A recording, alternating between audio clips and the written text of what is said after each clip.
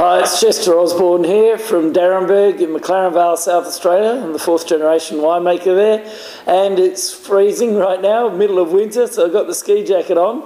Um, we're launching our 2007 top three reds, our icon range, and uh, um, it was quite an interesting year, 2007, because we had quite a dry winter, and shoot growth was quite low. Berry size was very small, the yields were very small, and so the seeds were actually quite prominent in the ferments. We had to be quite careful about our extraction. Normally we foot tread 90% of the production, and this year we actually only foot trod about 10% of the production.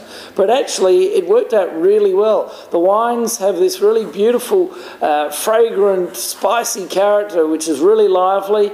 Um, they, it seems to cover the oak completely. The wines in the palate have a really good, fragrant, spicy fruit character, which is very lively and gritty and long and spicy without actually being oaky at all and without being blocky. And the, the tannins actually are lively and, and fragrant. So it's, it's really a very uh, attractive vintage.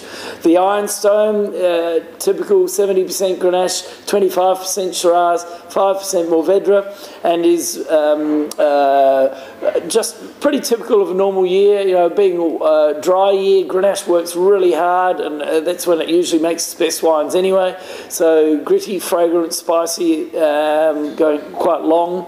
Uh, the Coppermine Road. 2007.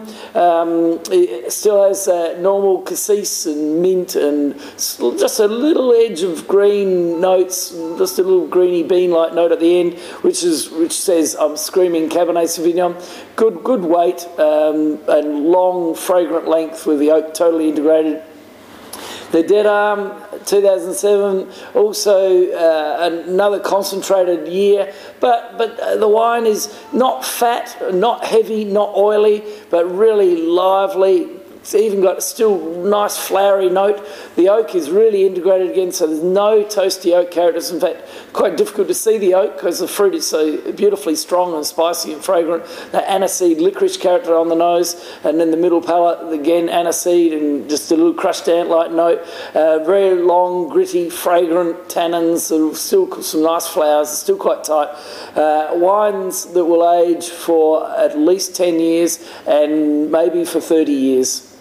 Cheers.